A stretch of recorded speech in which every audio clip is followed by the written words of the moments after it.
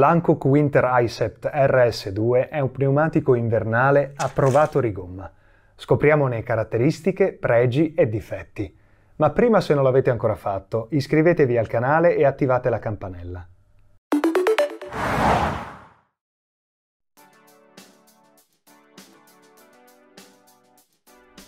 Il nuovo prodotto invernale della casa coreana è dedicato a vetture compatte e di media grandezza.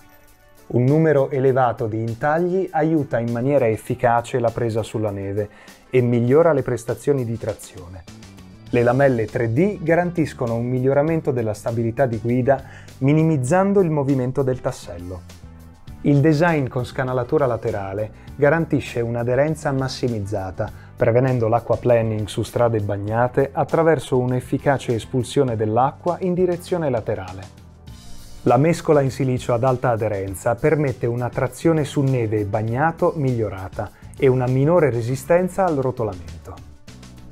Infine, la cintura rinforzata a copertura completa senza giunture assicura una rigidità del battistrada ottimale e migliora le prestazioni di maneggevolezza.